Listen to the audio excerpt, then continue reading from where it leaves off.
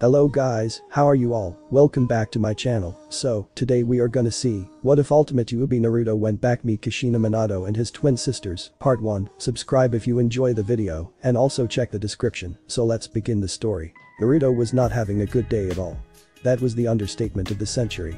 During the final minutes of the battle between him, Obito, Madara and the Juubi, a few things that gave the blonde a reason to be pissed. First, Naruto had witnessed Obito command the Juubi to destroy his friends, and he hadn't been able to save them. He had no clue where the cages were, or Sasuke for that matter, and had to attempt to save them by himself. Needless to say, he failed. All of the lives of the main body of the Shinobi Alliance weighed heavily on the young man's shoulders. He now fought to save the civilians of the various nations. Second, he was unable to fight all three of them, so Kurama made him use a he'd only seen once. As much as the fox hated Minato Namikaze, the Shiki Fujin had its uses. Running through seals that flashed up in his mind, Naruto summoned the Shinigami. The command he gave it. Seal the Juubi into himself and take his soul away, so that the Juubi could do no more harm. The Shinigami obeyed and pulled the soul and power from the beast, while the two Uchiha looked upon the sight, powerless to stop the death god. Third, was something no one expected. Sealing away the Juubi with the blonde had some repercussions. Using such a technique on a being as powerful as that demon, while having it remain completely effective wasn't possible. So, as Naruto felt his soul leave his body and merge with the Juubi on its way to Shinigami's stomach, space-time was being ripped apart. The Shinigami would be messed up if Kami ever found out about this. Before the world was encased in white from the tear, the death god swore that he'd never do something as dumb as promise a kid to seal an all-powerful chakra beast. And that was how the world was destroyed. Little did Naruto realize at the time, someone up there had given him a second chance at life. He felt the numbness caused from removing his soul from his body subside and fill him with a tingling sensation. It was as if all the parts of his body were on fire and he could do nothing to stop the pain. The world went from white to black as the boy was tossed around through the vortex of space-time. Minato. Step away from them, or these children will die a voice commanded. The wielder of that voice wore all black with a mask of white covering his face. He was Minato's height and, to the surprise of the Yondaime, he had a Sharingan in his right eye and Minato's newly born children in his hands. The Hokage, Minato, was a young man with light blonde hair spiked up over most of his head with two bangs running to his cheeks. He wore simple attire, black pants and an undershirt, but he wasn't planning on fighting. Just witnessing the birth of his two kids. In the man's hands, there were two children, one a boy, one a girl. Both had sky blue eyes while the boy had spiky blonde hair and the girl had tomato, air habanero, red. The girl also had six whisker marks, three on each cheek. The masked man placed two explosive tags on the children, leaving the parents wide-eyed. Who will you save he asked, humored by the situation as he threw them both in the air. Then a task filled the air. Minato dived away from his wife to the kids. He saw the man grab his lover and disappear in a vortex, but he had bigger things to worry about. But the Hiraishin, the three Namikazes flew to a house and he ripped off the blankets covering them. With a huge red and yellow blast, the tags exploded. He had barely grabbed his kids and pulled them to safety. The house behind them was in splinters, one of those in his leg, but he ignored the pain. They went to his room with the two babies in hand. Sorry Naruto-kun, Natsumi-chan, your Tou-san will be right back. He could have sworn he saw a nod from the boy as he grabbed his white cloak with Yondaime written down the back. With another Hiraishin, he flashed to Kushina. The redeed was strung across a large rock with black seals binding her. She was in pain, struggling to see her partner. Kushina-chan, what happened? He took Kyuubi she panted, looking at him with one eye open. Minato cut her down and laid her on the rock. Naruto, Natsumi, are they alright? Hi, I'll take you to them Dottie flashed Kushina to the room, placing her between the kids before flashing to his spot above the Hokage monument. Meanwhile, the village was horrified at the destruction Kyuubi was causing. He killed civilians, shinobi, and medics alike, smashing buildings with his tails. When they saw a huge black bull form in front of the beast, they knew their deaths were coming. Suddenly, a figure appeared on the Hokage monument, standing in front of Konoha. Look, it's Yondaime someone shouted, and civilians began to cheer. The fox fired the Biju Dama straight at the academy, but Minato jumped in front. A huge black circle of symbols erupted from a three-pronged kunai in his hands. With a small flash of light, the black ball and Minato vanished, appearing in a forest clearing. The ball shot off behind him and exploded in a sphere of blue destruction, obliterating the trees. Where is the masked man? Wondered Minato. I must report what happened to the Sandaime he muttered to himself. He didn't see the cloaked figure sneak up behind him. Minato knew something was off. He whipped around with a kunai in hand, but it passed hopelessly through the man's head. With a loud clap, his arm was in the grasp of the man. Not so fast, Minato Namikaze. A vortex shot out of Madara threatening to suck Minato in. Just in time, the Namikaze ran away, leaving the other man with one thought. He's fast. Minato skidded away from where he landed. It was in the rubble of the shack that exploded from the tags earlier. He forced himself to stand up as his enemy appeared in front of him. You? Who are you and why are you doing this? At this the man chuckled deeply. You could say I'm doing this on a whim and a goal, for both destruction and peace. As for who I am, I am nobody important. I will stop you declared Minato, throwing a three-pronged kunai at the mysterious man. To his shock, it passed straight through, but the Kage appeared behind him and slung a punch at his chest. He stared into a Sharingan as the punch went through his chest, leaving the blonde on the other side. A space-time technique. He's as adept as me with them, and he has a Sharingan too. The only one with those powers is Uchiha Madara. If you want me to be. The Hokage rushed towards him again, throwing a punch at his arm. It went through again, and the masked man solidified his hand to punch him in return. The hit barely tapped Minato's chest, but he knew what this meant. He has to solidify his body to attack, so I must be as fast as possible. I hope I can finish this in time, Konoha. He threw a three-pronged kunai, forming a in his right hand.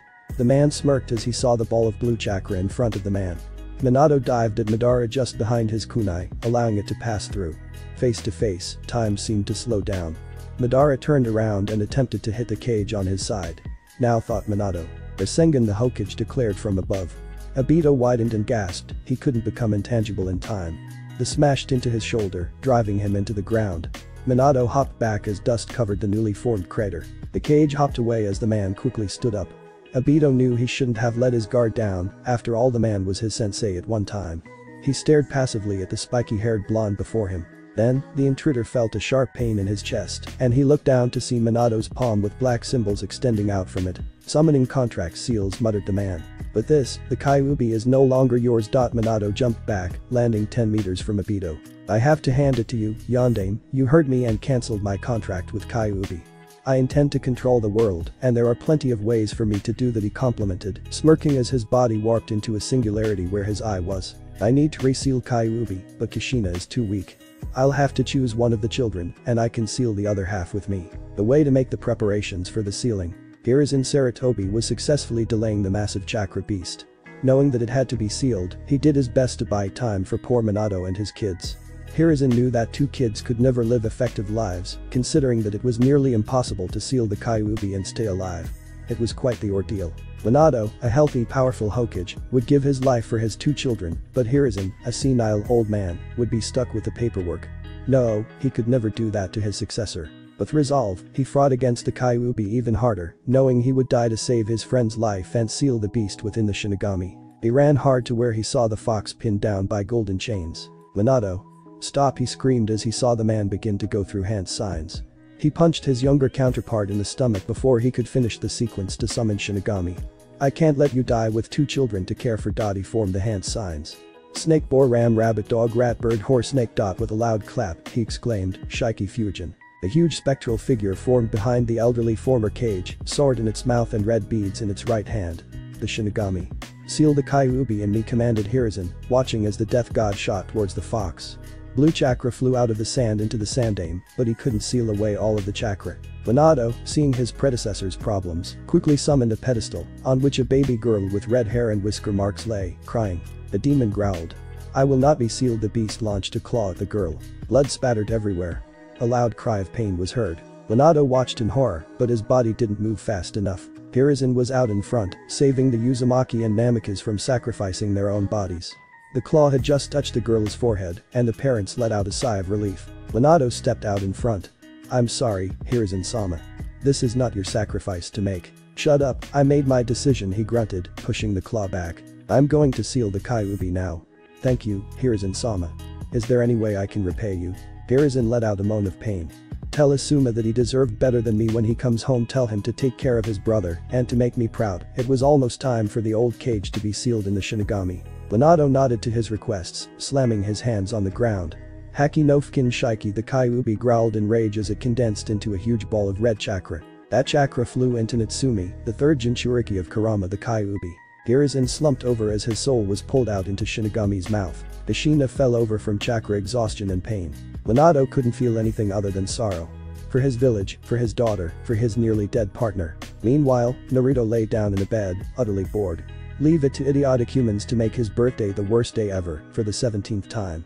He knew Kurama had attacked, he could sense all of the other Bijuu's chakra, but he didn't know what became of his mother and father. He assumed they were dead, again, but he couldn't see it all, much less know what was happening outside Konoha. Being the Kyuubi may have its perks, but he was sure he'd have to live a lonely life yet again. At least he had a sister this time, and she was not him. Oh but Minato and Kushina did not die that day. He was wrong. And prologue, remember to review. I just loved that huge scene with Minato and Obito, so I had to write about it. That was probably the most serious part of this fanfic. Review about how you like the battle. I know, an unoriginal idea. You think you know the vengeful powerful Naruto whose family rejected him for his sister. That's not anything like what happens here. Will Naruto unite the or just toy around with the world? Hopefully a good deal of both for my amusement as well as yours. Minato's Kage Bunshin resisted the urge to stab itself in the leg and dispel. This was almost as bad as paperwork. And that's saying a lot. Paperwork, the bane of all Kages, but it hardly compared to his family's bickering. It was ruthless, unending, cruel, and, worst of all, made his paperwork take longer. At least he thought of using shadow clones. Naruto shouted a four-year-old Natsumi. She had straight red hair down to her shoulders and wore a black Anbu-themed shirt and red pants, which matched her hair. Kushina approved of the color. What did I do Naruto looked exactly like a mini Minato, just how Natsumi looked like her mother. Ever since Minato married Kushina their friends had commented on their look-alike children. If Naruto was his, he would be happy that his son didn't take after his clothing style. He was into navy blue t-shirts and black shorts with white bandages above both knees. Yondaime thought it was odd since his son never trained, like Natsumi, and never really seemed to do much actually. You know what you did Minato's Bunshin put his head down on the armrest of the couch while the children bickered, trying to tone it out. Uh, no, I don't. Where's Kurama Oya? Naruto convinced her to name her plushy fox Kurama, just for old time's sake. Personally, he thought it was hilarious to mess with the inferior, and he really itched to say hi to the pesky fox again. Too bad you can't seal in a, right? who knew what was possible anyways, as no one had a giant chakra monster on hand to seal stuff into. I have no idea what you're talking about.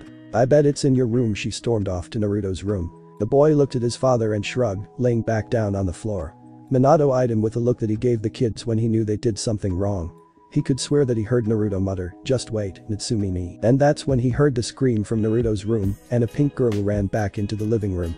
After rubbing his eyes, he saw it was Natsumi, covered completely in pink paint. Naruto burst out laughing on the floor. A floor that was now spotted slightly with pink. Nari-chan I'm going to strangle you definitely inherited Kushina's temper. She jumped on the blonde boy as pink dripped off her body onto the floor, much to Minato's dread, Kushina is going to kill him when she gets home. Pushing his chest into the ground with force a four-year-old shouldn't have, she began shouting at him. Where is he? Naruto. Tell me now. Naruto couldn't stop laughing despite the pain.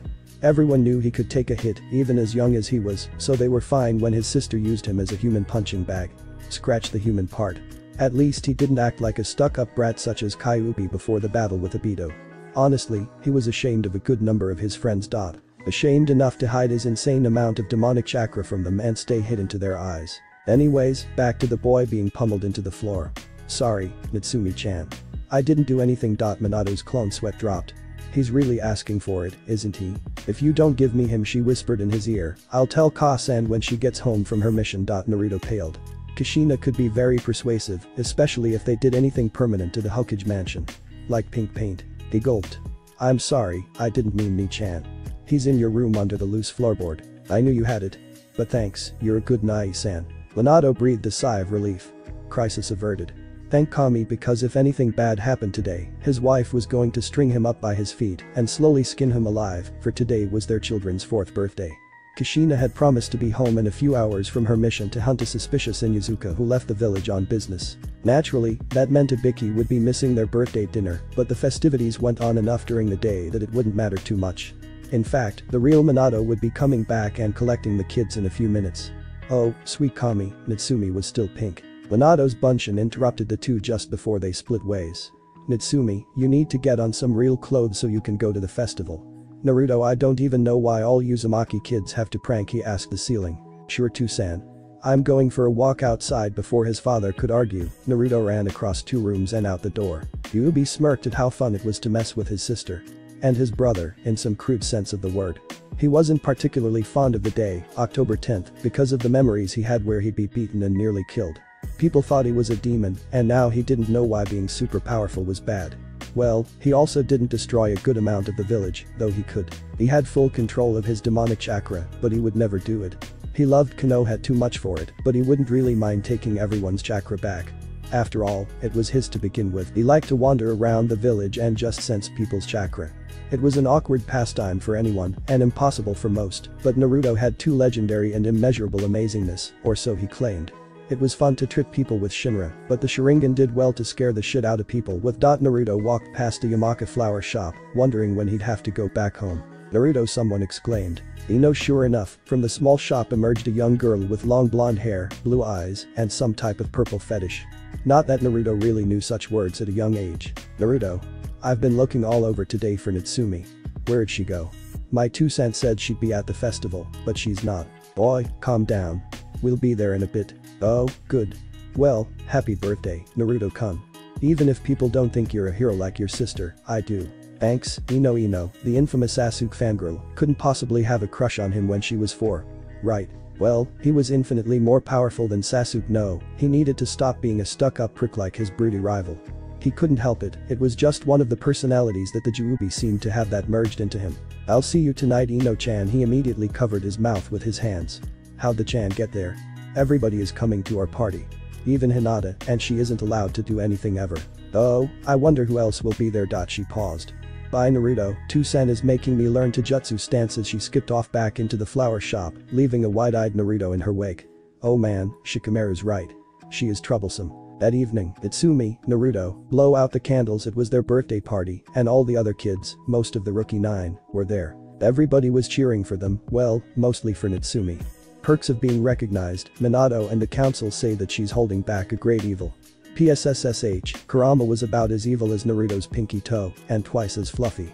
If he really wanted to, Naruto could crush all of the humans, right? He was still the big bad Juubi, and not some idealistic kid right? Eh, wrong. Congratulations, kids an old man with spiky white hair, dressed in loud wooden sandals and exotic clothes, seemed to appear out of the shadows of the room. Thanks, Iroha replied Naruto. Stop calling me that. A Tou-san said it was a good name everyone in the room chuckled, except the kids and the old pervert. The kids because they had no idea what a pervert was, and Jiraiya because he was a super pervert. Minato, in all seriousness began the Hokage sensei, you know why I'm here. It involves your daughter's birthday present. Minato, sitting in between his two kids, nodded and spoke up. Kushina-chan and Jiraiya-sensei are going to start teaching Natsumi how to control the Kyuubi's chakra. That's her birthday present, as we think it will give her much more control in the future if we start early. A few heads nodded in agreement. Sure it would be dangerous, but with a former and one of the best masters alive, training would be a breeze. Kushina smiled. That's true Minato. But aren't you forgetting someone else's present? Of course I'm not. Naruto, here you go. Dottie pulled a present out of his storage scroll in his arm. The wrapping paper was white with leaves on it, how fitting. The boy grabbed it and tore off the wrapping paper. It was an orange book and everyone looked at Minato in horror. It's not what you think. It's a book on seeing how I want him to learn my Hiraishin at some point. The group let out a collective sigh of relief and Naruto shrugged. In any of his memories, he never really delved into it, so it was a good start. It was almost dumb to learn, seeing as how he already had plenty of power, but whatever. It's a goal, and a goal is something the young Juubi definitely needed. Thanks Tou-san. We're going to go play outside now replied his son, dragging Natsumi past the other kids, heading outside. The kids there were Hinata, Kiba, Choji, Shikamaru, Ino, Shino, and the two Namikazes. It was maybe 7 pm and very dark. Normally, on a day like this it would be around sunset, but the days were growing shorter and the nights longer as the year dragged on. Okay so what do you guys want to do asked Naruto, taking the lead as usual. That's what happens when you are mentally older than dirt. Watch clouds. People watch. Eat something. Pet dogs. Something logical I hope. Why? Because it makes sense. Whatever everyone else wants I guess. Prank people. Naruto sweat dropped at the variety of answers, wondering what Sasuke would have said if he was there. Technically, the two had never met except by seeing each other when their fathers talked, but they weren't so insanely different. Maybe his former rival would have said think about how much my life sucks and plot to kill my brother. Well, it looks like we're playing ninja. Months later, it was Hinata's fifth birthday. Naruto had memorized all of the important aspects of the basics and became a 3 out of 10 in his slight mastery of it. He didn't train outside of that because he didn't care. He could just release his chakra and change his form anyways. He was taking a nice walk around the training grounds where he heard the cracking of a twig. The four-year-old shot around, looking for an intruder, spotting a blurred shape in the trees. Eh, looks like I can't hide anymore. Sorry brat, it's not your lucky day. The man had smooth black hair and stood about 6 feet taller than most. He had brown eyes and two twin swords on the back of his jet black Anbu gear. His most discerning features. A young, laver-haired girl slung over his back and a Kumo hitai-ate around his forehead. Aren't you the Namikaze brat? You've got quite the nice price in Iwa for being his son the man mused. Give back the girl he replied coldly. Make me run. Naruto's eyes rippled, a pupil condensing in the center, and dark concentric rings lined his bluer eyes until his entire eye was a dot, you have one last chance. If you promise not to harm her and peacefully return to the village, I will spare you interrogation. HMPH, as if. You're what, 5? I think I'll take the girl home, harvest her eyes, and make her my personal slave, just for you. How do you like that? Wrong choice. Bansho Ten'in he stated, holding his hand out. The girl flew from his grasp to the young blonde who laid her on the ground tenderly. He still cared for her after she went through great lengths to save him during Nagato's invasion. The black rod of chakra materialized out of thin air and stabbed the surprised in the chest. Never ever mess with my friends his voice was deeper, demonic, commanding. He pushed chakra into the man through the black receiver, making him writhe in pain. The foreign chakra fought his body from the inside, making it a form of torture. Shinra Naruto said as he shot the man back into a tree, denting it. That's not possible. You can't be that strong the tree, splintered, fell back into the forest with a resounding crash kicking up dirt. Staggering away from the stump, the man stared at the five-year-old in front of him. You'll pay for threatening her Naruto watched as he wiped his bloody mouth on his sleeve. The man pulled out a kunai and walked towards Hinata. Come any closer and she dies he warned with a smirk. The Kumonin pressed the blade of the weapon on her neck. Naruto's anger only increased. Nonsense. Everyone like him will pay. Nagato, Kabuto, Orochimaru. I'll kill them. Since it seems I won't get back alive he gestured to the hole in his chest with the dark chakra receiver embedded in it, I'll just take the girl with me to the grave. The Namikaze stared in horror as he raised the kunai and stabbed it into her stomach. He couldn't save her. They were too far away, for all his power he was helpless, just like then. Flashback, Naruto was pinned to the ground, six black rods stuck in his back and one through his hands. He raised his head to see a lavender-haired Hyuga rush to him. Holding up his hand, a man in a black cloak with red cloud stopped her. Pain, Nagato's puppet, picked her up with the gravitational powers of the dot bringing his hand down to the earth, the man slammed her to the ground. The cloud of dust kicked up, but Naruto knew she was almost dead. Hinata why can't she just save herself? Why? She couldn't move. The silhouette walked up to her. He pulled a black rod from his sleeve. And swung down. Then flashback, pain had happened again. Red splattered everywhere and Naruto lost control. Naruto woke up in the cold, hurt earth without a tree for miles. All that he saw around him was a crater the size of a small village in Konoha in the distance. At first, he wondered what the hell happened, then he realized his anger got the better of him. Anger. Why should he be angry at anything? It's not like it'd matter to the all-powerful being that he thought he was. He had some nagging feeling in the back of his head, one of his more human emotions. Worry. Concern. Unable to pinpoint what exactly it was, he sat up and tried to recount what the hell he just did. Remembering why he was mad, Hinata's death, was the thing that set off the chain of emotions in his head. He was Naruto Namikaze too, and he had a family, friends, and a whole lot of precious people to be worried about. He smirked, yet he would still keep them safe, no matter how he felt about most humans in general. But that happiness of remembrance came the other feelings he didn't like too much. He felt awful, wondering if he killed any innocent people. Hopefully, the Kumo shinobi was dead, which he had no doubt the man was, and the village was safe, which his view of the horizon told him was true as well. What he remembered clearly was fighting the man, seeing him kill Hinata, then Hiashi flying by to pick up his daughter, as Naruto fought the older shinobi. With his body as an adult, his chakra allowed himself into an older version, he tossed the foreign ninja out of the training ground like he was a plaything. Unfortunately, when he arrived in the spot where he was now, the man was already dead. Upset that he gave the man a slow and painful death, and over the death of his former admirer, he released an enormous burst of chakra. Thus, he wound up there, in the middle of the crater, over an hour later. Decide man, I should make chakra limiters or something so that I don't do this again.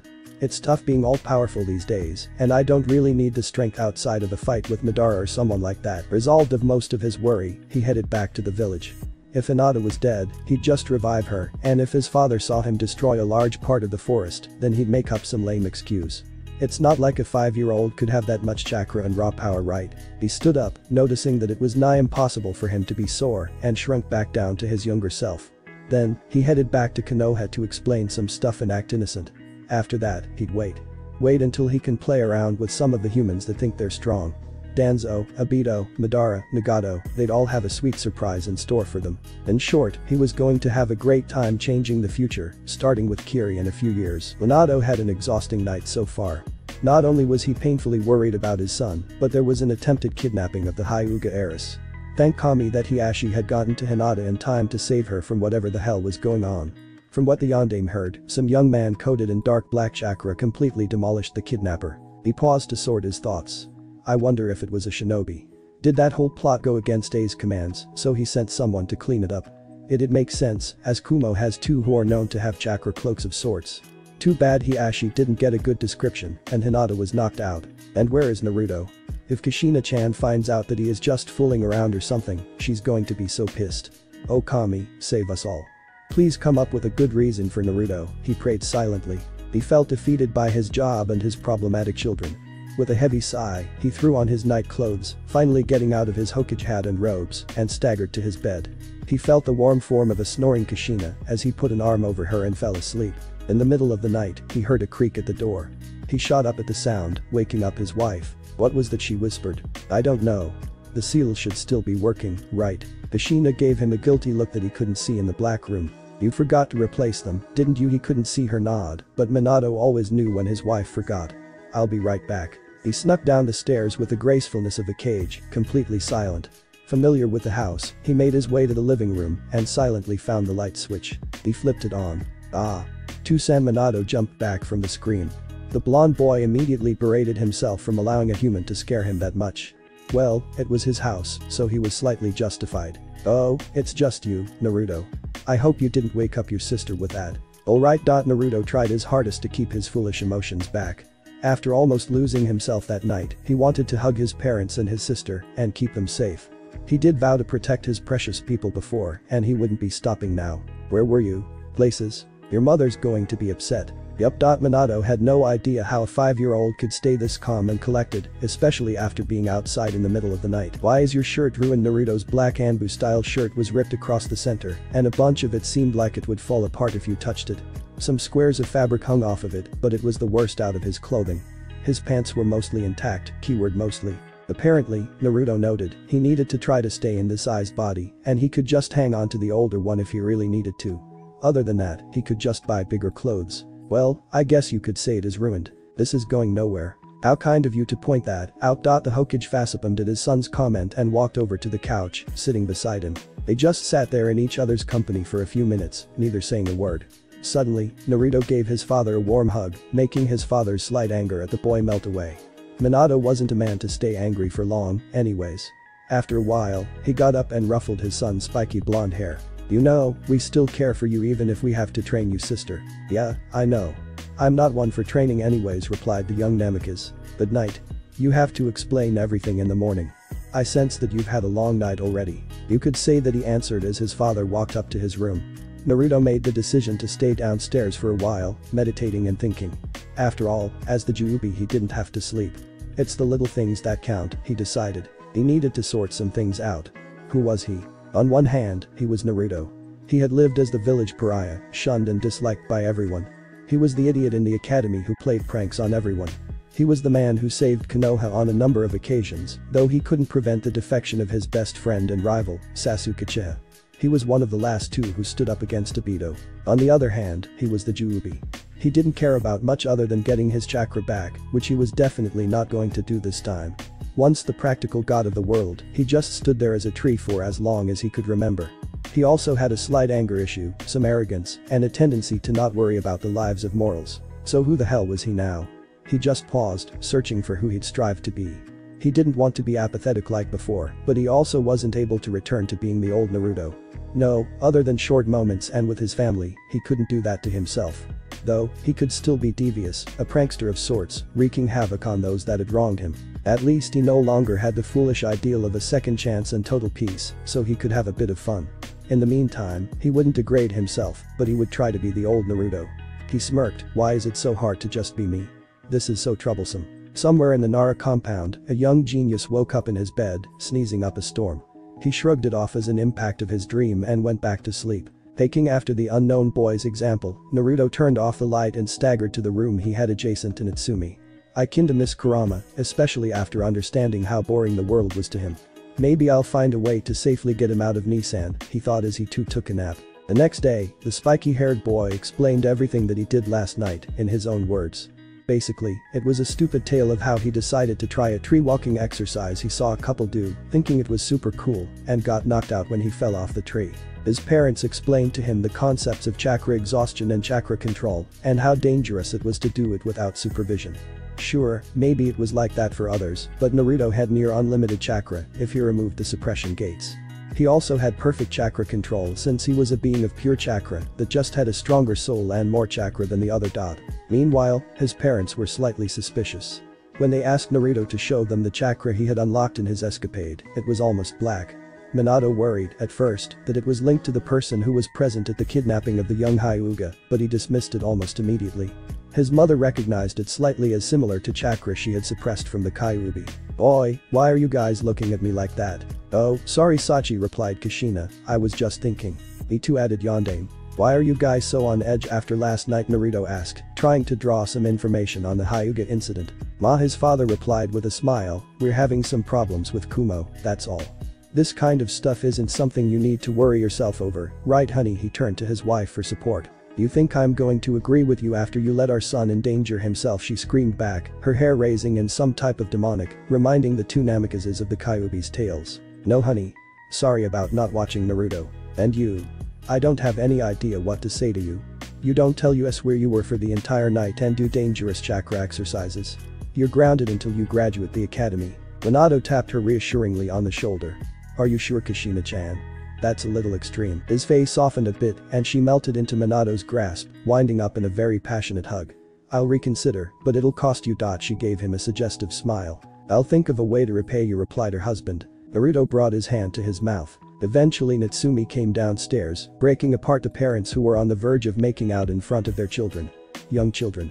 She was quickly filled in on the escapades of Naruto the previous night and the entire family went their own ways to do their own things. Natsumi was going to go train with Sasuke typical and Naruto was probably going to find some civilian shop owners who overpriced him in his past life and mess around with them. Ah, the wonders of Sharingan. The twins would have similar routines for the next year until they all would join the academy at age 6.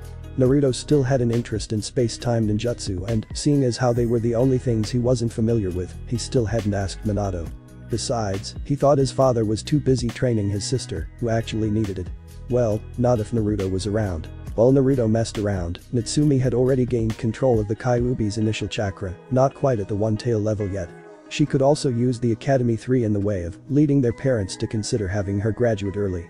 They didn't, seeing as they wanted their kids to live a full childhood. Naruto sighed, as he had lived for long enough anyways, even if a good part of it was stuck in a moon, which was absolutely no fun. The Kyuubi was having a relatively good time adjusting to human life. Each day, he began to gain slight qualities of his former self in public, even if he was often just a boring, emotionless nonsense, when no one was looking. Still, it felt relieving for him to socialize every now and then, especially with his friends in Ino. Yamanaka was his best friend, dare he say that he had one, and they met up to talk almost daily. Their conversations ranged across many topics, from flowers to the future, ironically enough, to the academy. Speaking of, the academy was starting for the group of future greats in a year. Though Naruto couldn't have cared less about the classes themselves, they could be a good cover to sleep in and instead send a Kage Bunshin to school for him.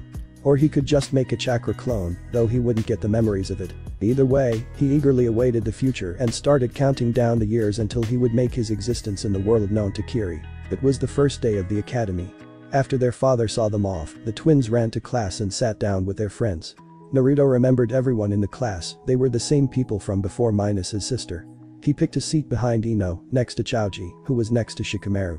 Naruto was in the back corner. Thinking that the first day might actually have been important, Naruto didn't send a clone in his place, a fatal mistake.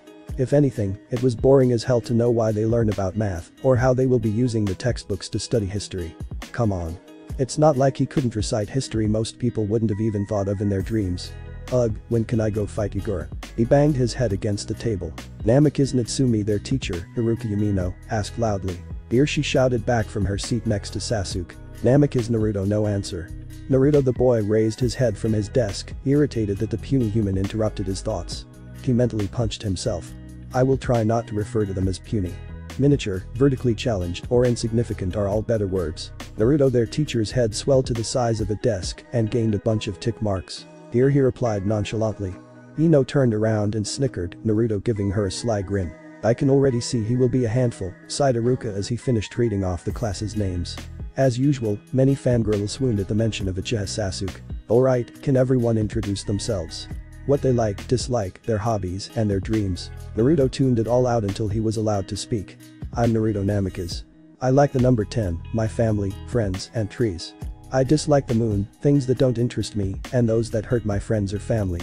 I don't have any hobbies, and as for my dream I'll figure it out. Iruka smiled at Yondaime's son. Uh, interesting, Naruto. Moving on, the day was awful. They didn't even do spars. If they did do any spars, Naruto didn't know what he'd do.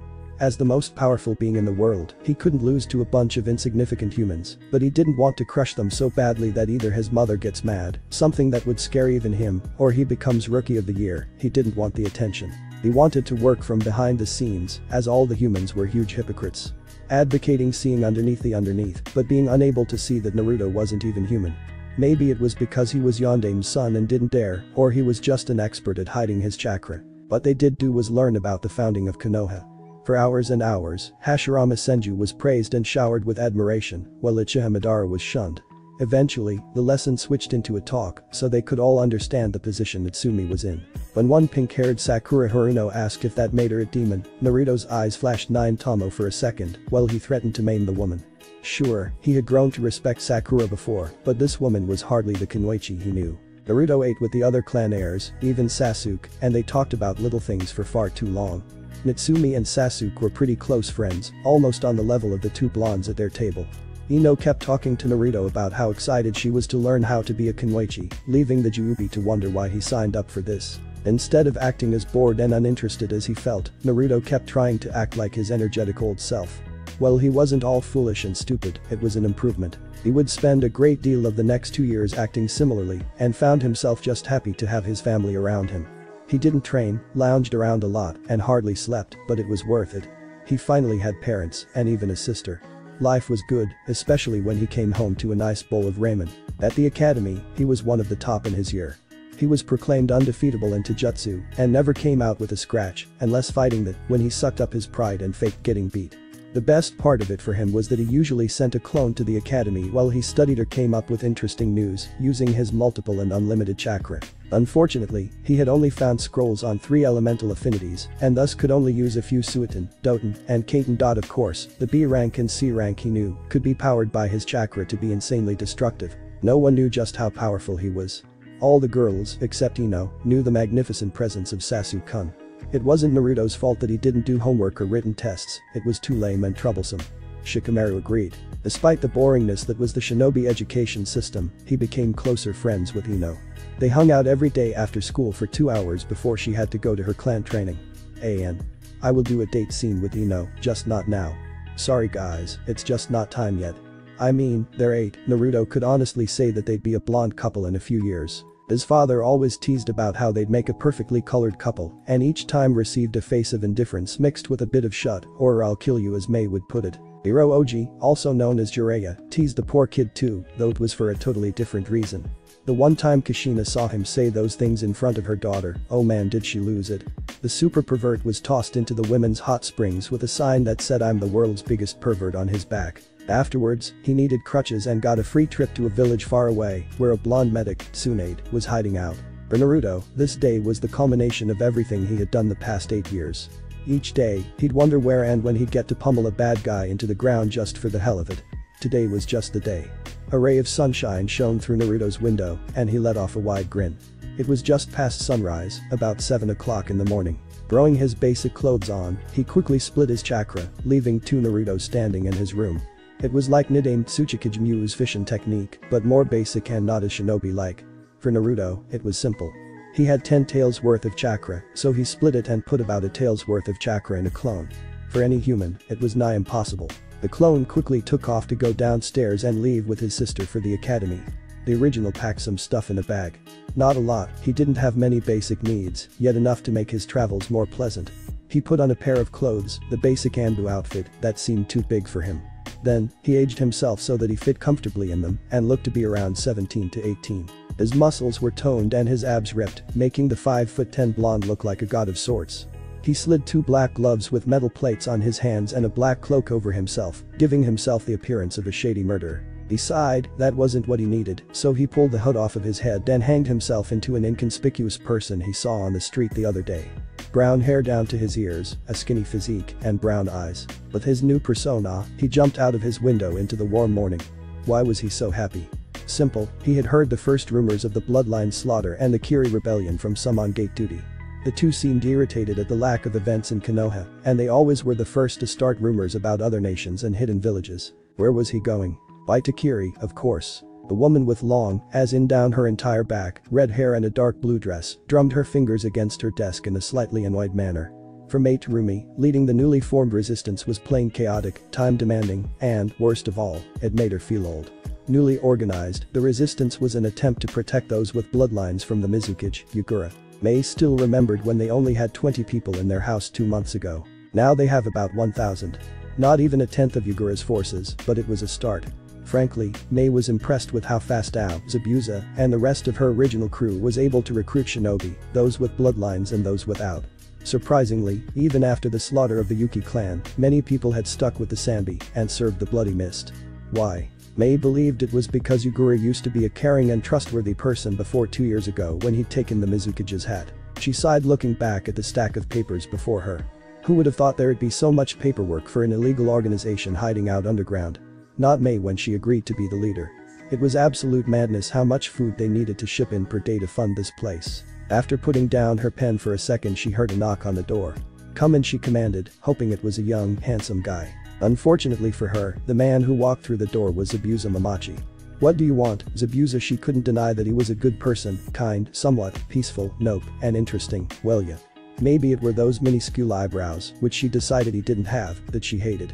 At least he was one of her most loyal supporters, for some unknown reason. Why was it that he tried to assassinate Yagura? Honestly, she didn't care about his reasons or his past slaughterings. She was sure it wouldn't matter in the bedroom no. He's not the one for you. He isn't even cute. The CU of course, Mei Chan Mei wasn't convinced of the reason, as much as she was secretly hopeful. Fine I just wanted to let you know I'm leaving. What? Why Mei was in shock. She turned her head sideways at the pale former resistance nin. His Kiri hitai-ate wasn't scratched because they all still saw themselves as true Kiri shinobi. He wore his ugly kamo, Mei thought he might be handsome if he trashed that, and had his short hair spiked up a bit. Why was he going to desert them? He knew they'd gather enough supporters in time to stand up to Yagura. Do you know how much money we have left? Well, yeah. I'm constantly reminded by Ao and the damn paperwork. Zabuza grinned. How long do you think the 3 million Ryo would last? Mei looked down at the papers, realizing they were at the end of their funding two months, and the people living underground in their bunker didn't bring enough Ryo to buy food from the local villages. Maybe they could have their own greenhouse in a year or two if the rebellion hadn't won by then. According to Ao, we have about two weeks. I've got an idea dotted a confused glance, he elaborated. I'll take some bounty missions and see if I can't keep everyone funded. I suggest you have a few others do this as well before we all go broke. That would be the most humiliating defeat ever, and I won't have a broken rebellion associated with me. Damn the prideful man. Still, she understood what he was saying, it made perfect sense. In fact, she couldn't even argue it. Something was left unsaid, and she was curious. So that's the only reason you want to leave. I have another reason, but it isn't important he replied. There's this Yuki boy I found, starved half to death and treated like trash by his small village. I decided to train him to take care of himself, but I don't want to do that in a warzone. Did you just say you have a heart? Don't get too used to it. I'm going to pack up and leave with him this afternoon. I'll make sure to come back and see you, Mei-chan he said as he turned around to go out of the door. Wait. Zabuza-kun he stopped, the door was opened halfway. Mei clasped a hand over her mouth at the added honorific. When will you visit? Once a year. I promised. The door slammed shut. With that, she was all alone. Well, not quite. There was always a huge stack of paperwork on her desk. Then, to her horror, there was another knock on the door. People just can't leave me alone today. First I get paperwork, three stacks of it, then, Zabuza-kun has to leave me. She banged her head against the desk. Come in. The door opened and Ao, in all his blue spiky haired glory, stepped in with a man in tow. Ao had an eye patch over his right eye, she knew it was the, and wore plain Anbu clothes. He was doing much of the surveillance missions these days. With brown hair down past his ears and plain brown eyes, the man following her advisor seemed completely normal. He was 5 foot 10 and wore a normal navy blue shirt, sandals, and a pair of slightly worn black pants. Overall, he appeared to be in his early 20s. He was extremely skinny, a sign that he wasn't a shinobi, so what the hell was he doing here? And who the hell was he? He didn't seem like a Kiri citizen at all, and she couldn't detect a hinge. What was going on? Ao, who is this? Said man spoke up. This is Ryu, no last name. He claims he is a civilian, but my sensory skills tell me he has at least Jonin level chakra reserves. He followed me peacefully here, saying he wouldn't explain who he actually was until he was in front of you. Neither of them knew just how much he was suppressing his chakra. She looked the unknown man up and down, detecting no threat from his passive expression. So, who are you? My name is Ryu, like he said. I was an orphan. Dot was it? What does he mean by that? I'm not a civilian, I just look like one. That hardly answers Mei Sama's question spoke. It's not like she has all of her life to listen to your younger generation's attempt at mysteriousness. Mei held back her anger, thinking that Ao had just made a slight comment about her life being short. That means I'm old. I'm not old, you nonsense. Fair enough Ryu replied, before the other two jumped back at what they saw in his eyes. They were blood red, three commas swirling around the center like a whirlpool. You're observed. From Konoha Ao exclaimed, a bit angered. The resistance leader knew that Ao still didn't like Konoha shinobi after the third shinobi war. He was an old hag, and grudges were hard for him to get rid of. You could say that. Why are you here asked Mei, looking into his red eyes. She didn't like this man too much. Not only was he a liar it seemed, but he was interfering in an affair not related to his village, assuming he actually was from Konoha. The man had no ache to signify allegiance. I guess I have a personal issue with Yagura and his tenant. They stole something from me, and I'd very much like it back. Neither of the resistance shinobi had any clue what that meant. Besides, I can't let him slaughter you, now can I? You wish to help us Mei asked, nodding to Ao for him to uncover his eye and see if the man would tell the truth. Yes, I do. He's not lying Ao replied, putting the eye patch back on. Ao, show him a room. She got up and walked over to him, whispering in his ear. Make any more comments about my age, and I'll kill you. Also, keep a few people outside the door for a few days and make sure he is truthful. Ao paled at the sweet but deadly voice before nodding in agreement like a young child. Hi, Mei-sama. Follow me Ryu. The man nodded and followed her advisor out. It's morning and today is already troublesome. As she thought this, two Naras sneezed somewhere inside Konoha. Naruto was amazed at how gullible these humans were. What if he was a Kiri shinobi? What if he wasn't actually going to annihilate Yagura's army? He laughed at them internally, while the blue-haired wielder led him to a small underground room. Judging by the chakra signatures of the place, there were only 1,032 people, a useless number if Yagura brought his military force to attack. The Juubi practically died when they thought he only had Jonin level chakra, especially since the fool had a dot. After being set down in his room to recount the events of the past two days, he unpacked and threw himself on the bed. Ah, comfort. The best part of the entire trip so far. The fact that two guards were stationed outside his room. It's not like they could do anything to stop him, considering they probably weren't seal masters or possessors of the dot. If they killed him in his sleep, he'd just reform in a few years. Granted, that wasn't anywhere near ideal and far too painful, it was useful nonetheless. Thoughts of this drifted him back to Obito and Nagato. One was an idealistic bastard hated by both versions of himself. Maybe within the week, the blonde, who was now a brunette, would have a chance at the Uchiha. Nagato, however, was okay by his standards. Sure, he wouldn't let the man get away with destroying his home before, but he really just wanted peace. Maybe they could work something out. Naruto didn't worry too much over the topic, thinking it was an event for another day. Finally, though, he was getting a chance to have a real fight. He promised himself to only release 3 of his gates, out of 10, giving him Sanbi level chakra. Yes, that would work just fine with a Chibaku, planetary devastation. He couldn't wait for a chance to stretch his legs after a full 8 years, but he couldn't help but wonder just how suspicious everyone was of him. It all relates to how he got to the hideout in the first place. Flashback Naruto had been jogging through the fire country and hitched a boat on the way to the water country. While traveling on the boat, he heard a few rumors about two passengers that had fled Kiri and were now returning to be a part of the revolution. He found the two men who were supposedly from Kiri talking by the railing of the small ship. One was a burly man with a coat far too small for himself, resulting in blue-colored cloth being torn all around his body. He had a very small amount of blue hair on his head, not even reaching his ears. The other man beside him was taller and leaner, but he looked to have some relation to the first. But the same blue hair, and each wore a light blue jacket, it matched their hair, a black undershirt and black pants. Naruto could see a small tan line on the tops of their foreheads, where they used to wear hit-eye daily. Hello he said as happily as he could, standing beside the two of them on the railing. What do you want the one on the right, the burly one, asked. I've heard rumors around here that you two want to join the Kiri rebellion he tried to make it sound as innocent as possible. He was a good actor, but the overly cheerful act was always a tough one for the demon. What's it to you returned the man. Boy, Riku, stop that the other one commanded with an exasperated grin. He was obviously tired of Riku, possibly his brother's, antics. The man's just asking a question. The question that I don't feel like answering Kaiko. Stop acting so depressed Riku glared at Kaiko, crossing his arms over his chest. It was the standard symbol for stubbornness. Stop getting in my business the two were now face to face in an eternal stare-off. Naruto watched the transaction for two minutes with mild amusement. It reminded him of how his sister used to be mad at him for not being excited. That was before the Hyuga incident when he decided to open up and act a bit more cheerful. I'm still here Naruto, the brown-haired civilian, sighed. Why do you want to know about the resistance asked Kaiko. Um, I'm thinking of joining. Riku grunted. You're just a civilian, that's way over your head. Who said help had to come in the way of shinobi, Nison shot back his brother. So they were brothers. This explains a lot. His brother sighed, obviously upset about something in the past that Naruto had no knowledge of.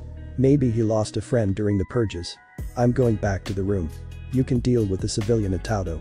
Yeah, I'm just interested in providing any type of aid I can.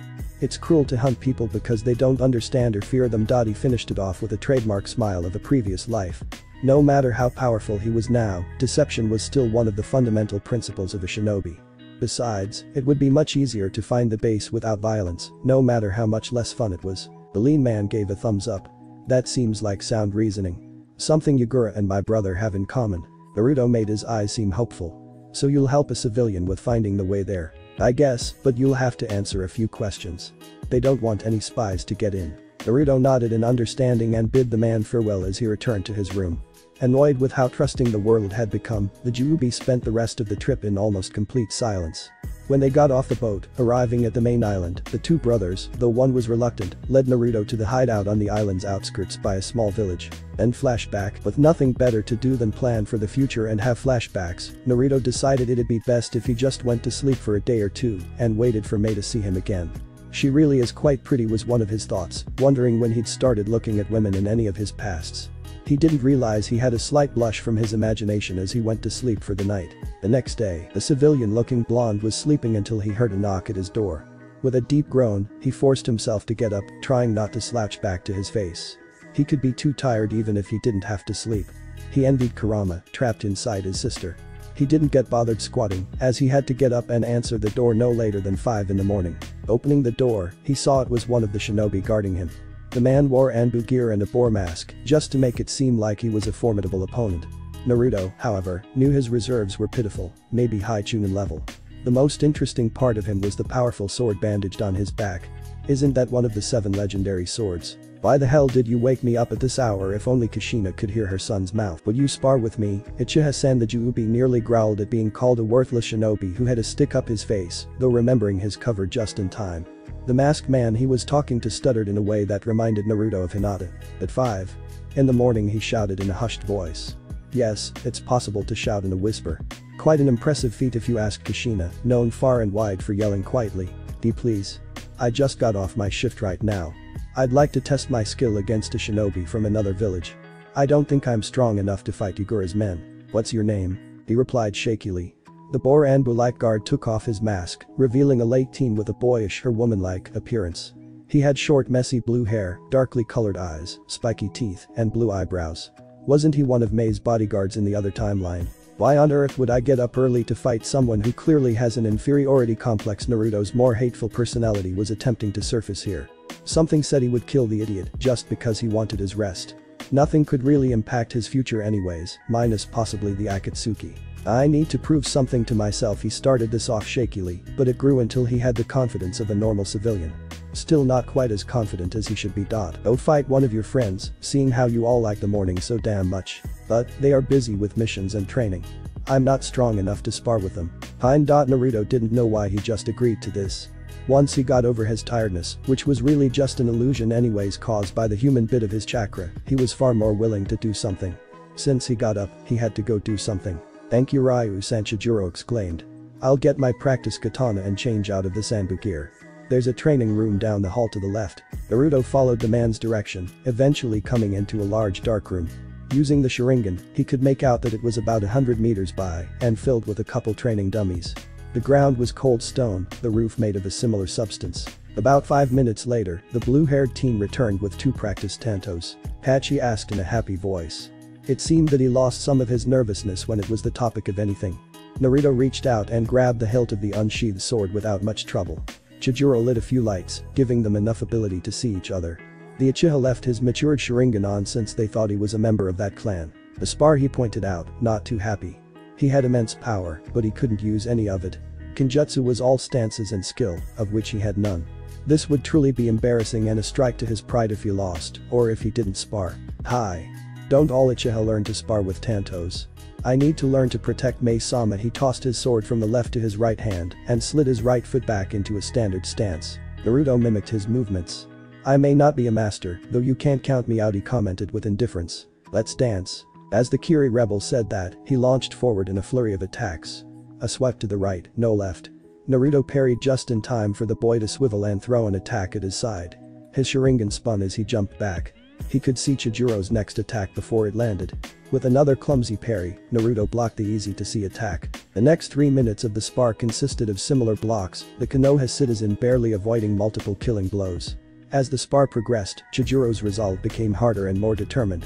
The boy in glasses attacks became more deliberate, precise. Chojuro came at him with a swing from the right side. Naruto moved to block, but before he knew it, his opponent kicked him in the chest. Skidding back a meter, Naruto pulled his Tanto back in a defensive position. Damn it, I can't beat him and dot this isn't close to fair. Naruto dropped the Tanto which clattered on the ground. In reality, your opponent will not use only dot he held up the Tiger Seal. Katon. Nkakek no Jutsu Fire Release. Grand Fireball Technique, a huge fireball rocketed towards his opponent, who narrowly avoided the searing heat. When the flames cleared Chojuro had dived face down on the ground and he was now standing up. So. It'll be my sword versus your ninjutsu. Replied Naruto before making another Tiger Seal. Katon. Hibashiri Fire Release.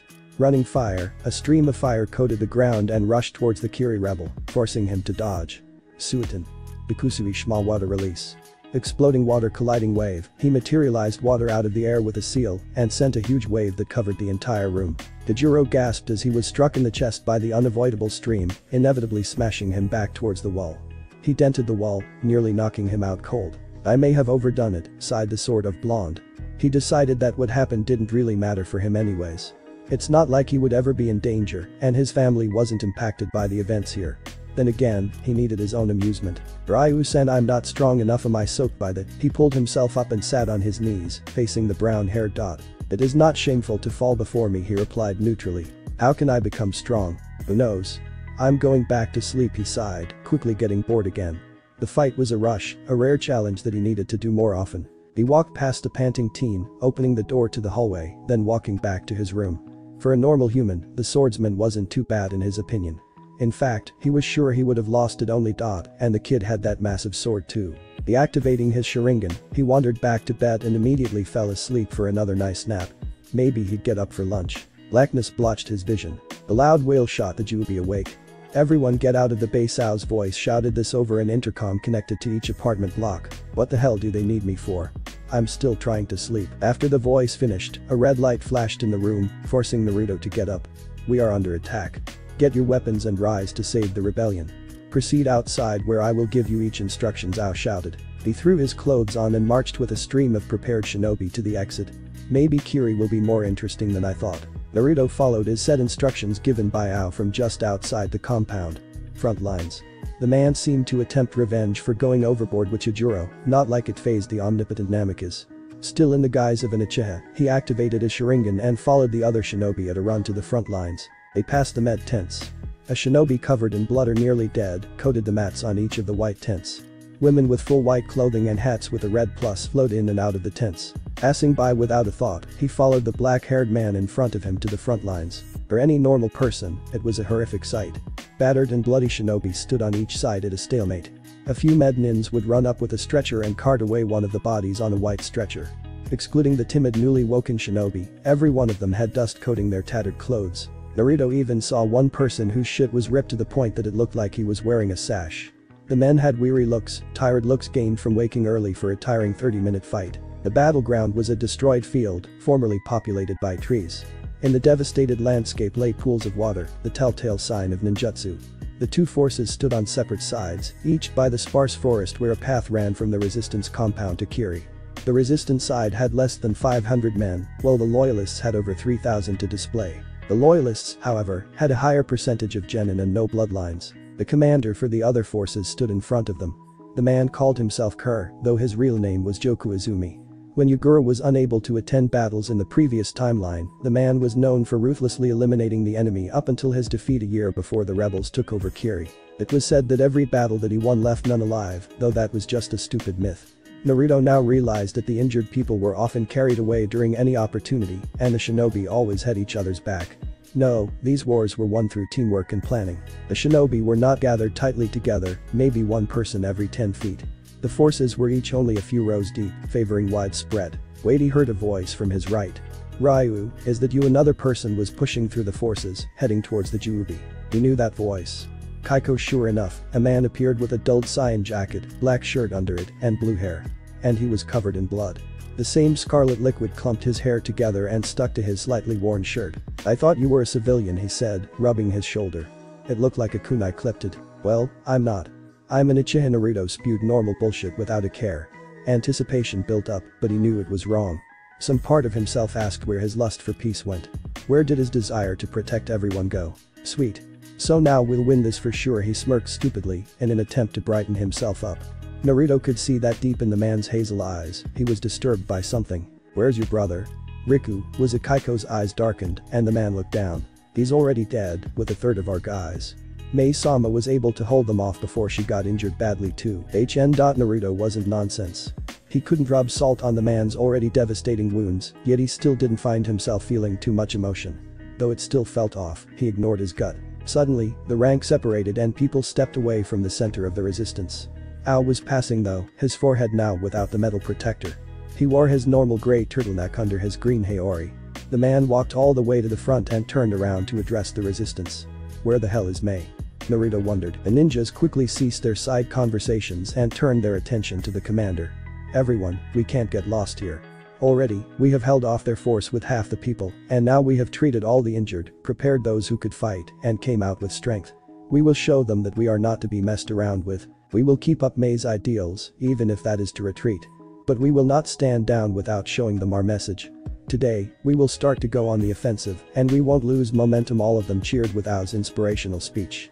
All types of weapons, from swords to spears, were thrust in the air with determination. Naruto was bored, only impacted slightly by the conviction of the leader.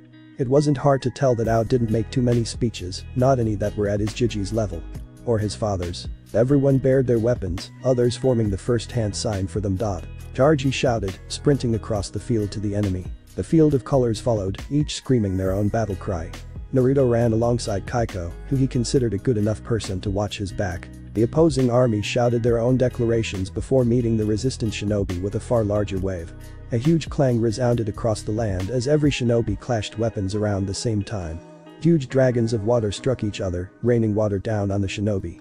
Rock spears shot just over Naruto's head, impaling the person behind him in the shoulder. Fire roared from one shinobi in the resistance, but it crashed into a wall of water and dispersed with a hiss. A light fog coated around Naruto as a large bullet of water shot at him. Eyes flashing purple, he held out his hands. He was easily sucked in by his Preta Path. He didn't even register that he saved Kaiko, who stood next to him, eyeing him with awe. What was that he asked as the mist thickened around the two of them. Quickly, the only thing they were able to see was each other. I replied the former, switching back to the Sharingan. I thought the Uchiha had the Sharingan and that it doesn't absorb chakra. It doesn't matter now, I'll cover your back either way. Thanks stated Naruto. This will surely be fun. Without my sight, I can have a level playing field. Before either could say something, three blurs appeared. Get ready advised the blue-haired man, drawing a kunai in the backwards grip. Naruto drew a kunai of his own from his pouch, holding it in front of his heart. Two of the blurs launched at them, the first engaging Naruto, while the second fought with Kaiko. Naruto blocked an overhead strike from a katana. Then he retaliated with a swift jab at the enemy's stomach with his free hand. The Kirin jumped back a few feet, dodging the punch. Suddenly, a stream of water shot from the third ninja who was hanging back. Using his powers of prediction, Naruto placed a kunai in his mouth and formed the snake hand seal. Oten. Dorakeki Earth Release. Earth-style wall he muttered, spitting an earth-like wall of mud to block the attack. The wall buckled but didn't break from the attack, saving both himself and Kaiko. The resistance Nin was in a kunai on kunai fight against his opponent, Naruto choosing not to interfere. Naruto was mildly shocked when the first opponent came after him again with an attack. Must they always be used he wondered, holding up a hand. His eyes flashed into concentric rings, and a gravitational force propelled the attacker away. He saw, out of the corner of his eye, Kaiko's opponent fading back into the mist. The three blurs moved close together. Pain, Zukaku fire release. Intelligent hard work, the three shinobi shouted from outside the fog. A huge ball of fire blazed through the battlefield, far too much to absorb without sustaining damage. He needed to save Kaiko. Not just dodge. One second. The fireball was coming closer, he needed the recharge time. One half second. He was nearly face to face with the inferno, Kaiko with a petrified look of terror. Now. Shinra he thought, holding up a hand. An equally large pulse of gravity emanated around the two resistance fighters, dispersing the fireball and flinging back the enemy. Phew, that was close smirked Kaiko, turning to his friend. Naruto gave him a legitimate smile, one of the first since he left his family behind. The kunai flew through the air, unknown to both of them. Naruto's eyes weren't the Sharingan or his Juubi, so he had no prediction and could not see it heading straight towards Kaiko's back. But the thud, blood spattered the ground. Kaiko's features morphed into a look of surprise as red dripped from his mouth. Ouch he muttered, falling onto his face and kicking up dust. I couldn't save you Naruto spluttered. He sat down next to the man he befriended on the trip to Kiri. That's alright I said the same to Riku he smirked again, the gesture not quite reaching his eyes. Unlike Nagato, Naruto didn't have access to the outer path. His was gained from mixing two chakras, both of which held some of the traits needed to awaken said dot. Why? Why do you try so hard to save others? I used to be like you, then I realized that it didn't matter. Of course it matters that Ryu I fought today, not not for me or my brother. I fought for the families that didn't get broken yet to keep them safe. He was coughing by the end, but his message was not near lost. Naruto remembered. The war. Hirosenin sacrifice. The Sandaime saved the village. Why did they do it? They did it for the kids. Not for themselves. I lost sight of all of my convictions. What happened to ridding this world of hate, not just playing with it? I get it I was like that before. Then what's stopping you? He coughed hard again, spurting out blood. His face started to lose its color, and his smirk was reverting into an indifferent line. From being like that once again his eyes glazed over, and Naruto felt his pulse stop. Amity shouted. I'm Naruto. Naruto Uzumaki. Number 1 most unpredictable knucklehead ninja. I vowed to rid this world of hate and to keep everyone safe. His ringed eyes turned red once again, two of the rings disappearing. Nine tomoe swirled into existence in each eye. Ichibi, Nibi, Fuinkai one tail, two tails.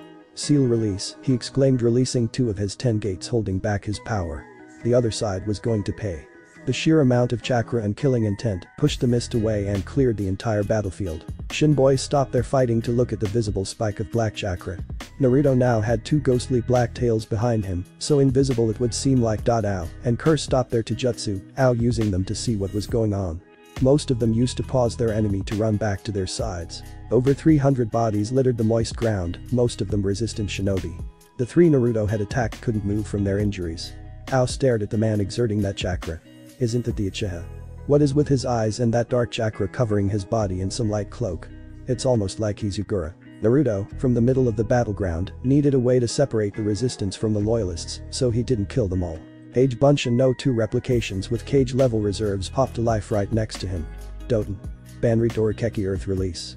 Earth-style wall of 10,000 Rai, he declared, each of the clones forming the snake seal. A huge wall of earth sprung up under the original, while the clones pushed the wall to cover the entirety of the resistance. Now, they're all safe he muttered to himself, letting his bunshins poof out of existence. He now stood 50 feet in the air, able to see both sides of the standoff.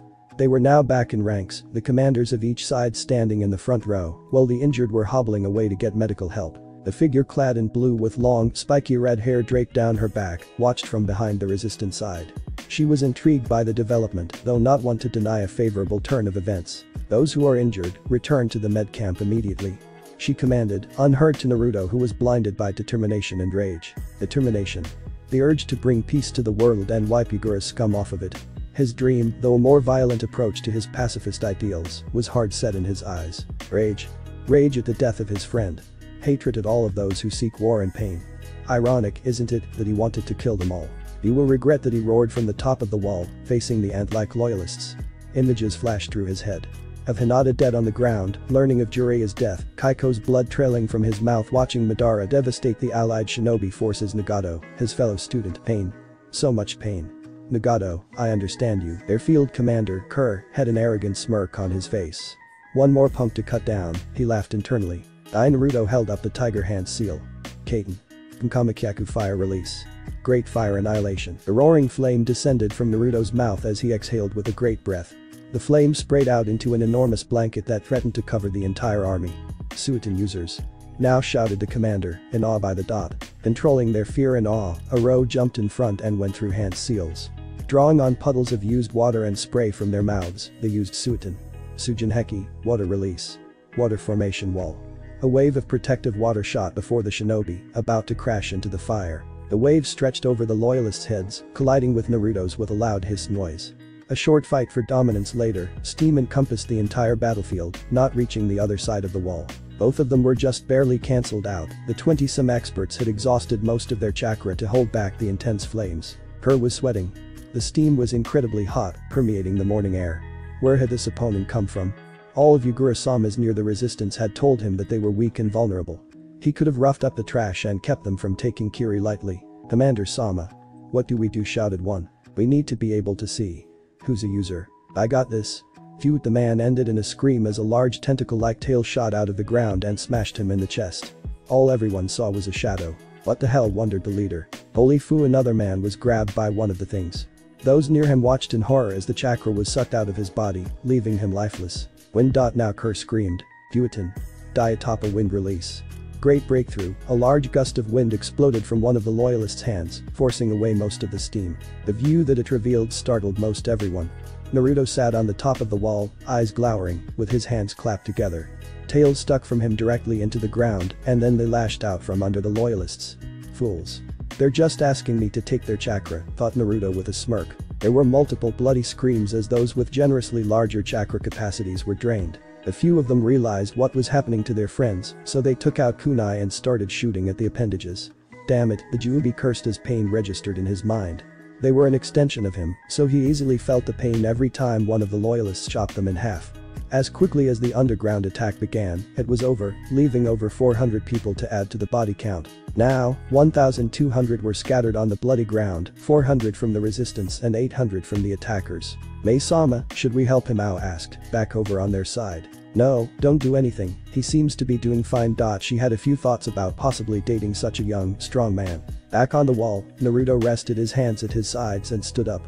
He had used up maybe a half tail's worth of chakra and regained most of that back.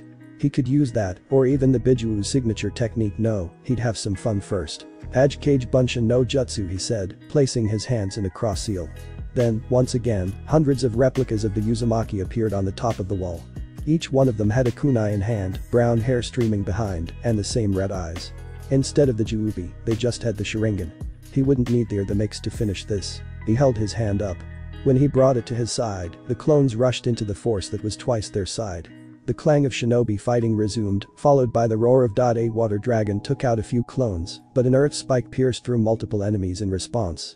Kerr had taken to using a sword enhanced with chakra and two water clones to defend himself. A few of the stronger shinobi, maybe former Anbu, surrounded him protectively from the onslaught of clones. Oden. Direct an earth release. Earth Dragon Bullet, one of Naruto's made a dragon of mud and shot balls at the group holding the leader. The ex-Anbu made lightning-fast hand seals, spitting out water. Daibakufu no Jutsu water release. Great waterfall technique, they all said, countering the hail of human-sized mud bullets with a spiraling torrent of water. The water went on to destroy the chakra-depleted clones that used the dot. We have to get out of here and tell Yagura advised Kerr, addressing his guard. Hi they replied, following him back through the battle, some helpless weaklings getting smothered by runaways. In the chaos, just before they fled to the forest, the commander saw Futon. Rasen Shuriken, not that he knew the name, exploded in a huge sphere of white needles. 40 people had died immediately from the sheer piercing power of the wind needles throughout the dot. Holy shit, was his last thought before leaving the battlefield. We need to find a way to stop this man. The group disappeared through the forest, slipping away in the chaos of the battle. Naruto watched the destruction caused by his clones. Served them right for massacring and ruining Haku's life. I think it's time to end this. He placed his hands in the ram seal, using chakra to make the clones poof away. He decided it was time for the wall to go down to the point where he was only 15 feet above everyone. The areas of the earth wall that he wasn't standing on sunk all the way into the cracked ground. That would leave him plenty of room for him. What's happening asked a loyalist who was fighting a clone. Like the man beside him, he was covered in blood, scrapes, and grime. His friend answered. I don't know. What the hell is that the first stuttered, pointing at the Uchiha. Naruto held his hands to the sky, gathering red and blue chakra to his hands. The little bubbles condensed into a black sphere which kept growing. Isn't that Yagura-sama someone gasped. The ball grew until it was the size of a desk. The ultimate and final of 9. dot Witnessed the power of a god. Bijudama he stated, throwing the ball at the center of the remaining force, no less than 800 strong. Both sides were in utter awe that someone could throw a chakra mass that dense. No one could move in time. The large exploded in a flash of white, incinerating everyone within the proximity. When the light subsided, the new crater had many mangled bodies. Those few that survived had escaped already, running from complete annihilation. Whoa muttered Chojuro, who had rejoined the battle from the med tents. Mei, who stood to his right, replied saying, yeah. Whoa. Maybe this rebellion won't be so hard after all. The man was running down a dirt path as destruction followed him. He vaguely remembered grabbing his Anbu guards and leaving at the last minute before an enormous obliteration of the battlefield. Covered in glistening sweat, the man had a ripped black undershirt and a Kiri flak jacket. His sword was still intact, along with most of his possessions. His blue hair was splotched with mud and drenched from water. Dot. He was Kerr, commander for Yagura and Kiri's forces. As he sprinted down the forested path leading to the camp, he discreetly signaled the Anbu to stay behind and guard the path. He could not have that man, he wasn't even sure if the guy was human, following them. Yagura needed to know. He burst through the forest into a clearing large enough for a small camp. There were nine tents total, for the Anbu, and the elite shinobi, the Mizukage had his own tent. The normal soldiers, and lower, were stationed closer to the battlefield, slightly away from the muddy dirt path. The executioners Abusa hated him for stealing his sword's name, found the largest tent and promptly entered. Yagura was a short man, though he wouldn't let anyone get away with saying that. Standing at about 4 foot 9, he looked more like a child than a leader. He appeared even more ridiculous with his grayish hair and purple eyes. Those who thought that made him weak were fools. The Yondaime Mizukage had almost full control of his, the Sanbi, and an arsenal of water. He was feared for his perfection of the Suiton. Mizukagami, no jutsu, water release. Water mirror technique, which shot any attack back at the opponent to effectively block and counter most. He ruled with an iron fist, bloody massacres keeping most rebellions in check. Controlled by a hidden Obito, he decimated the bloodlines in Kiri and destroyed most of the villages say in his actions. The academy students even were forced to fight to the death on some occasions, another reason that Kiri earned its nickname as the Bloody Mist. Those who knew him before Obito manipulated him and he became Mizukage thought of him as a fearless and caring man who would do anything for the village. Now he'd do anything for power and control. Most of it was due to the masked Uchiha, but somewhere deep down, the man developed a twisted sense of justice for his actions. Yagura-sama Kerr saluted, bowing to his leader. The fight is over already smirked the childlike man, clearly amused. Not in the way you think. The pale cage raised an eyebrow at that. Tell me what you mean. Someone came and Hyugura had never seen this much fear in his commander's eyes. What could have scared the man so much? Speak up he grunted, grabbing some sake and taking a gulp. He set the drink back down on a map of the water country and motioned for Kurt to sit in an available chair. He had chakra like your Yagura-sama. He killed over 2,000 of our men like it was child's play. Yagura nearly crushed his bottle of sake in quick rage. So that was the chakra he had sensed earlier, the bloodline traders had picked up a, a powerful one at that. How could they have gotten such a strong supporter already, and who the hell was this man? No one was that powerful, minus Minato Namikaze, but he was neither and or involved. Tell me what happened. Do not leave out a single detail he commanded, darkly, as the man began his tale. Yagura's eyes widened as he heard what happened. Apparently, out of nowhere, this civilian-dressed man had created a wall separating the two sides. Then he drained the chakra of hundreds, used clones to fire after, and finished it all off with a dot. The weirdest part, while the man had some barely visible chakra cloak, he made the Biju signature with his hands, not in version 2 state. Yagura didn't believe it was possible, and started to doubt what the man saw. After all, it must have been chaos. Still, Kerr was his most reliable servant. What will you do, Yagura-sama? I need to put a stop to this unusual situation before the resistance gains support. Ready everyone for another attack in a week. But, that's not enough time for the troops, to the commander didn't get to finish the sentence. Yagura had punched him hard enough to make him crash against the flimsy tent wall, nearly collapsing the makeshift room. My word is final. We will end this disloyalty before it spreads. Kerr smirked sadistically, wiping blood from his lips. Of course we will. Mei saw everything that her new recruit Ryu did. The Redeed was suspicious of him from the moment he joined, but she never expected anything like this. The young man, she assumed he was around 20, looked exactly like a civilian, yet claimed he was in a chair.